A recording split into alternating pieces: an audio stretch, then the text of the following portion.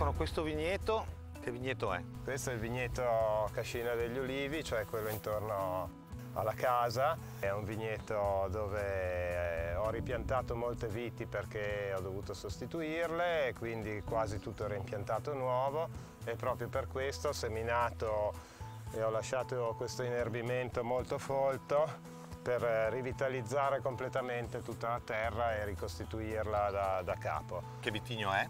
Qui è cortese, quindi uva bianca, quindi è uno dei vigneti che partecipano al semplicemente V. Tu quanti ettari hai in tutto di, di vigneto? In tutto sono circa una ventina di ettari, questo pezzettino qua sono 3.000 metri e poi ce n'è un altro ettaro dall'altra parte dopo i meli. La mia agricoltura è un'agricoltura completamente naturale, è un'agricoltura che cerca di portare più vita possibile nel suolo e eh, grazie ai metodi agronomici e all'aiuto fondamentale dei preparati biodinamici.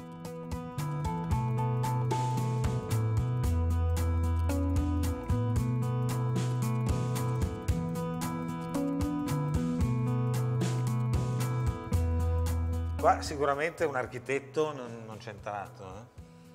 No, è stata un'architettura molto spontanea.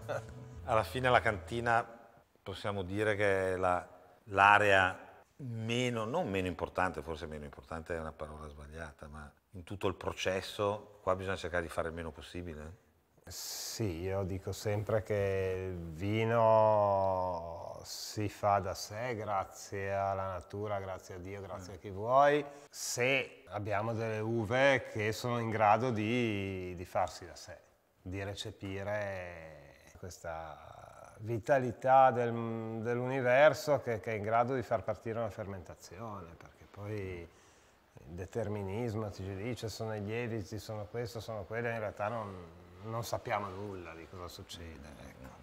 Sì, sicuramente ci sono i saccaromiceti, ma perché e perché si mettono in moto non lo sa nessuno. E chi sono? E chi sono non lo sa nessuno.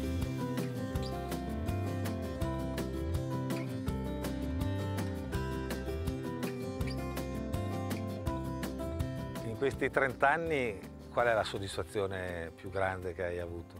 È quella di aver creato un suolo vivo, strutturato e profondo perché di solito oggi l'agricoltura moderna uccide il suolo e noi invece lo costruiamo. Siccome il suolo è, è, è la base di tutta la vita e l'humus è la base di tutta la vita, questo chiaramente è una grande soddisfazione per un agricoltore. C'è un bel lombrico? Qui c'è un lombricazzo enorme, sì. Proprio... Normalmente nei terreni a vigna non ci sono molti lombrichi perché la vigna per, per definizione ha terreni poveri. Però qui abbiamo portato tanta vita, per cui anche i lombrichi stanno bene. Bene, bene. E la terra, vedete, che si disfa molto bene e, ed è molto strutturata. Anche il profumo sembra di essere in un bosco.